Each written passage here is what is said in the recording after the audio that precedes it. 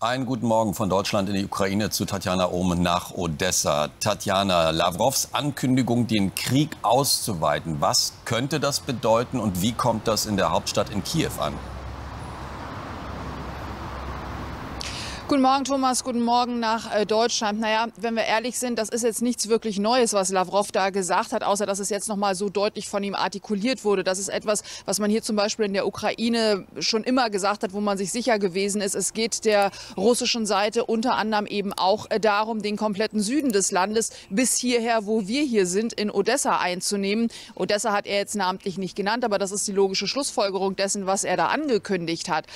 Was ist das Ziel dahinter? Das Ziel dahinter könnte natürlich sein, dadurch, dass man die komplette Schwarzmeerküste hat, würde man im Prinzip die Ukraine wirtschaftlich strangulieren, weil eben ein Großteil der Exporte hier über die Schwarzmeerküste rausgeht. Deshalb natürlich auf der anderen Seite, der ukrainischen Seite, der angekündigte Versuch und auch im Prinzip der Auftrag an die Soldaten hier, das, was es im Moment an besetzten Gebieten hier gibt, zu befreien. Vor allen Dingen die Häfen sind da natürlich im Fokus. Soweit ist man im Moment noch nicht, dass man tatsächlich um die Häfen kämpft. Aber das ist Ziel, das Ziel dahinter natürlich, dass all das, was im Moment hier russisch besetzt ist, insbesondere Herson und Umgebung, aber eben auch bis äh, weiter in den Osten in Richtung Mariupol, alles wieder zurückerobert werden soll.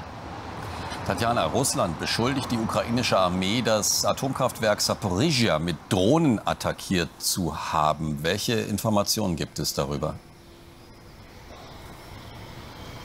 Muss ich ganz ehrlich sagen, ziehe ich im Moment gerade etwas blank. Ähm, kann ich mir auch nicht ernsthaft vorstellen. Die ukrainische Seite wiederum beschuldigt ja die russische Seite von diesem Gelände aus, vom Gelände des AKW mit mehrfach Granatwerfer die ähm, Umgebung dort äh, zu terrorisieren, buchstäblich. Wir sind dort gewesen in Nikopol vor drei Tagen, ich muss kurz nachrechnen, ja, ich glaube vor drei Tagen war es, sind wir dort gewesen. Und dort schlagen im Prinzip durch diese Mehrfachgranatwerfer in dieser Ortschaft auf der anderen Seite der Bucht gelegen sozusagen fast jeden Tag zwischen 30 und 50 äh, Raketen ein, insbesondere in Wohngebieten. Wir sind da gewesen, wir haben das äh, gesehen. Wenn jetzt die russische Seite sagt, die ukrainische würde mit Drohnen das AKW angreifen, ich kann mir nicht vorstellen, dass das AKW damit gemeint ist, was ich mir vorstellen könnte.